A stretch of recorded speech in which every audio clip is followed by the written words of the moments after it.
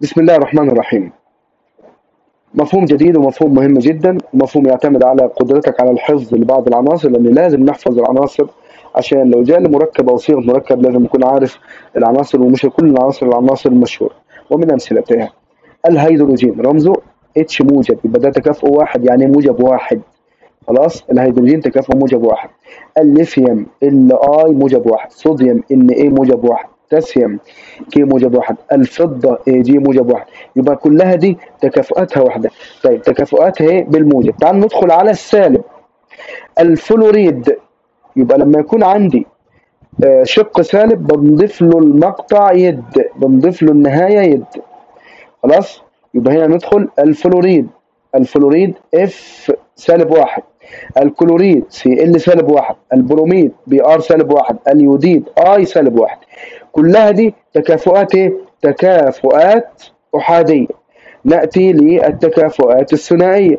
ناخد مثلا الموجب. عندي مثلا الأحادي برضو نفس القصة الذهب. Au موجب واحد.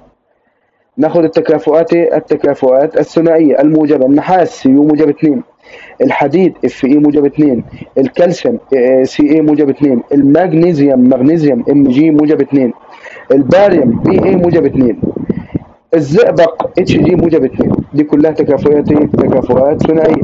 طب عايزين نروح بالسالب. هل في تكافؤات بالسالب؟ أيوه. زي مين؟ زي الأكسيد. الاكسيد الأكسيد سالب 2 خلاص؟ طيب. نيجي آه، نيجي مثلا للتكافؤات الثلاثية. عندي تكافؤات ثلاثية؟ آه عندي تكافؤات ثلاثية. زي مين؟ زي مثلا ناخد هنا مثلا عندي نغير اللون بس. البورون والألومنيوم. طيب السالب اللي يقابله بالسالب هيكون مين؟ هيكون النيتريد. النيتريد أهو N سالب 3 نيجي بقى للآيونات عديدة الذرات. يعني مش ذرة واحدة زي اللي خدناها لا أكثر من ذرة. زي مين؟ زي بص عندك هنا الأمونيوم. NH 4 موجب واحد.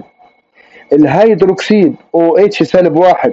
الهيبوكلوريد ClO كلورايد ClO سالب 2 كلورات سي ال أو 3 سي ال أو 3 سي ال أو 3 سالب. البيركلورات ClO 4 سالب. النترات NO 3 سالب واحد. البيكربونات اتش أو 3 اتش سي أو 3 سالب واحد. خلاص؟ الكربونات CO 3 سالب 2 الكبريتات الفوسفات. زي ما قلنا الاشياء دي لازم نحفظ ليه؟ لأن طبعا ما في محالة هيقول لي ايون الفوسفات إيش رمزه؟ لازم نحفظ. في أشياء بناخدها للفهم وفي أشياء لازم نحفظها. لكتابة الصيغة الكيميائية عايز اكتب صيغة كيميائية بيكون بين شق موجب وشق سالب والموجب دائما بيكون في اليسار. والسالب دائما يكون في اليمين. وبعمل عملية إيه، مقص عكسي للتكافؤات. يعني الاثنين حق الأكسيد اللي هي سالب 2 اللي هي الاثنين دي تمام؟ الاثنين هذه بتروح والثلاثة حقت الاي ال بتروح لمين؟ للاو وبالتالي المركب عندي بيطلع إيه؟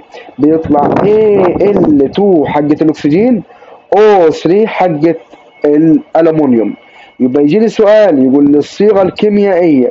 لكلوريد الحديد لكلوريد الحديد 3 طب عرفت إن 3 إزاي؟ من الإجابة أهي من السؤال قال لي 3 3 ده باللاتيني. يبقى الحديد أنا عارف رمزه إف إي موجب 3 من من كلام 3 كلوريد إحنا خدنا الكلوريد أهو Cl سالب واحد. اعمل لي عملية تناسب عكسي ومقص. يبقى تبادل التكافؤات Fe واحد ما بينكتبش Cl 3 يبقى اذا الإجابة هتكون مين FeCl 3 الإجابة إيه خلاص؟ من الأسئلة المهمة جدا آه، الصيغ وأسماء الصيغ.